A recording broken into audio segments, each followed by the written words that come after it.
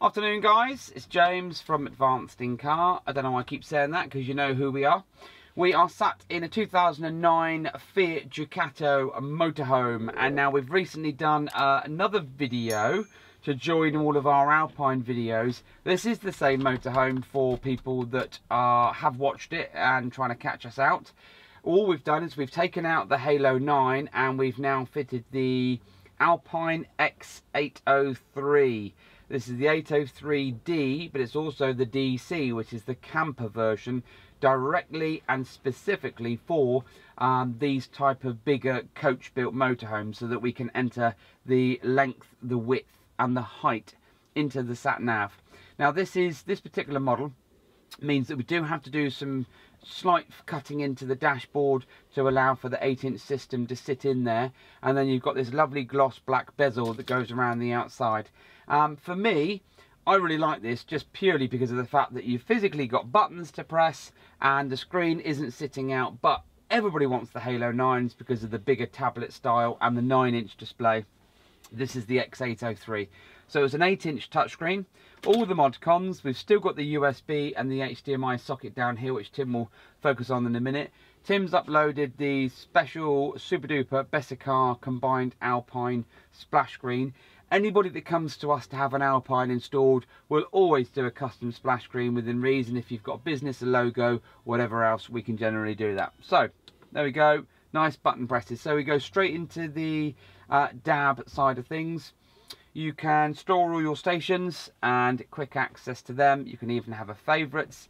You've got quick access to your telephone, um, settings and volume and other bits and pieces. You've then got uh, split screen for audio and navigation or if you hit it again you've got full screen for the navigation now like the INE F904 this X803 has the TomTom new mapping in there it's three years free updates from point of installation if we fit it all you get two years warranty for peace of mind because we're an excellence dealer so just to run through some of the other settings, and again, if you've seen this stuff before, great. The, the the actual software platform on the Alpine is all very, very similar. And that's how it makes it simple to use um, in most parts because of the fact that they're all very similar units.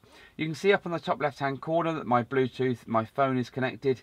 Here we've got the clock here in 24 hours and you can just touch the screen here and go in and you can set all your settings up. So postcode, uh, and go in and you can even do a free form search so if you are somewhere and you want to go places nearby you can go in and select where you want to go so if you want somewhere to park it knows exactly where you are and it's going to give you all the car parks now go back out of here and go into the sat nav menu. We don't normally go into here, but in here as well, you've also got your GPS information. So we're currently picking up 10 to 11 GPS and 6 GLONASS. We are parked in front of a building at the moment and the GPS is hidden behind a panel. So you would expect to get slightly better out on the road. Okay, let's go back out of there. Now the main menu button is physically a button on this one. So you've got your FM radio, you've got your DAB, you've got your Bluetooth audio. Now at the moment my phone is connected and that's what's playing on the screen. Uh, and again you've got control from your phone so you always check that your phone volume is turned up and then you've got full control over your Alpine system.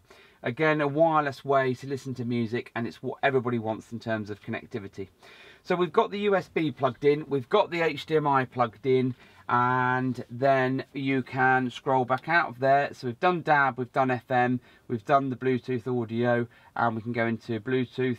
So you've got things like recents, contacts, and your keypad. So once you go in, lovely big keypad here so that you can just dial a number. It doesn't have any lag, which is quite nice. And you can then just call, like so. Okay, ending a call. Like so.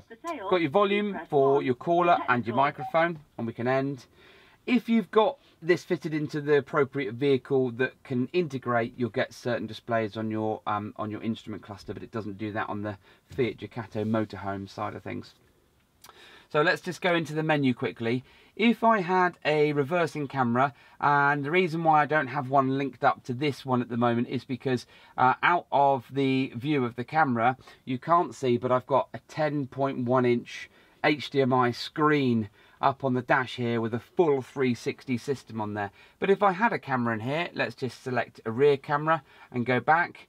We've already got it on interrupt. So if I was to do that and pop it into reverse, your image would then be displayed on your screen here and all of these alpine guides can be adjustable and turn you can put the hitch guide on which is a little moving screen for tow hitching of caravans and trailers and then also you can move the caution from top to bottom uh, and that is just the reversing camera and you pop it out of there and that then times out back to the main screen.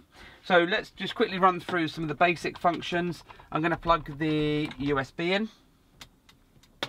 Now we have fitted the Alpine accessory which is the dual, uh, well not dual but it's uh, dual in terms of integration. You've got USB and HDMI um, socket nice and flush so you can use genuine lead which we always recommend but this is one just plug in. So plug your phone in. As soon as we go back to the menu, automatically flicks over. We've got right hand side or steering wheel right hand drive fitted and you can go in and select what you want to select. So let's say these are my shortcut, shortcut menus. You've got uh, Google Earth, nice satellite view of your maps, which is always handy. You've also then got Waze, depending on what you fancy using for up to the minute. And because you've got the SIM card in here, this is not outdated information. It's right now, it'll be live traffic information as well. Okay, so we've got Spotify. Go in there, listen to your music. There you go. That's what we were playing or listening to before um, on Bluetooth streaming. Wireless is now plugged in, so it's charging my phone and playing and gives you your album artwork. And then you've got a few other things. So you've got uh, WhatsApp, phone you can make and receive all your phone calls and stuff in here like so which is even better because it's all um, it's all com combined so let's go back out of there you've also got the main um, Alpine app as well now if we unplug that or leave that rather plugged in what we can do now is I will plug in the HDMI lead this is a ridiculously long lead so apologies for that I'm going to now plug that into um, the genuine Apple AV video selector. I'm going to unplug it from the phone. And I'm now going to plug that. So we've got the lightning lead, the HDMI lead, and we should be able to plug that in there.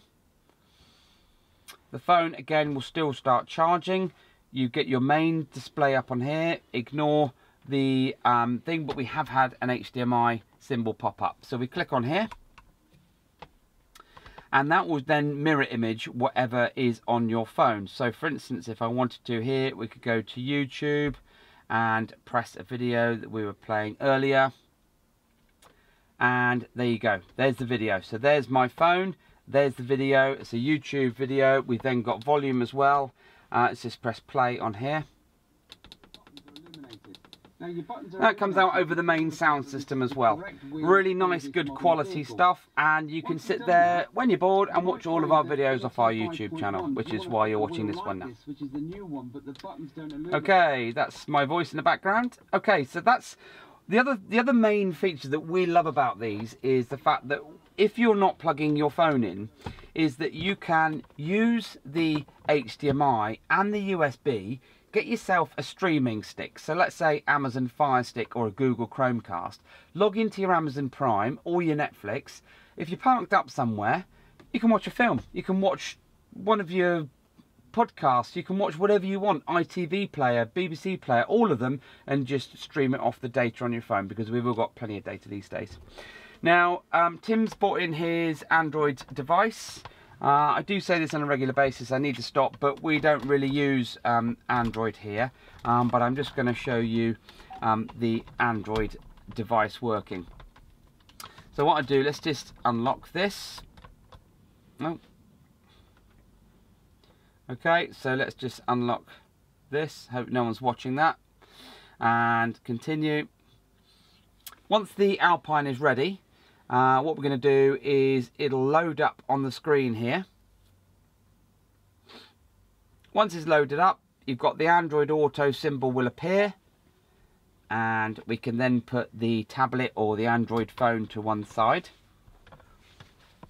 Hopefully not picking up on the camera lens the touchscreen because this is the problem. We've all got oil in our bodies and the touchscreen does get grubby. So always have a little case screen um, cleaner handy or a cloth. So main menu button on the Android Auto. Got Spotify, Waze, Play Store. You've got your music, you've got your phone, uh, you've got loads of other bits and pieces in there at all uh, as well, which is quite handy. So let's go in and press Spotify. I need to be logged in. Okay, well that doesn't help. But let's go and click into Waze or we do Google. Let's see what we've got here. Okay, so again, um, your phone, um, your, your device can be then stowed away safely and you've got all the mod cons of using Android Auto, Apple CarPlay, or you can choose to use the built-in TomTom nav. Change the colour of the buttons, the display, and all the bits and pieces. So this is the overview of the X803DC. So it is the normal X803D, but this one has the Camper software in there as well. I tell you what, we didn't do that last time. Let's just quickly show you how to get there. So I'm going to get rid of the Android Auto. I'm going to go back to the navigation. And in navigation, we're going to go up to the menu. And we're going to go to Setup, uh, Route Preferences, and we're then going to go to vehicle which is the motorhome. So you select I've already set this up as um uh, edited vehicle because it's the motorhome and I've selected a bus because it is pretty big. So you go in you select motorhome if you have already set this up or you can select car. You hit more you hit edit um, and then you hit more again uh, hit edit rather and then on this right hand side you've got these three lines and you can go in and you can modify your vehicle um, so I don't want a speed um, warning coming up and I'm not really bothered about fuel consumption. I've got a diesel and you can have extended settings. So down through here, we've then um, inputted the length, the width and the height of the vehicle. And also you can add a trailer, which is quite cool because people that have dollies with cars on and trailers for boats and other bits and pieces. But the Alpine allows you to do that. And that's what makes it camper specific for this length of vehicle. Right, so if you've got a vehicle like this, if your dashboard looks similar to this and you want to get rid of that horrible bog standard variant of your factory radio and you want something that's really intuitive, then please get in touch with us. Don't forget to subscribe. Thanks for watching our videos. And the website is www.advanced-incar.co.uk. Um, have a great day and uh, keep on watching.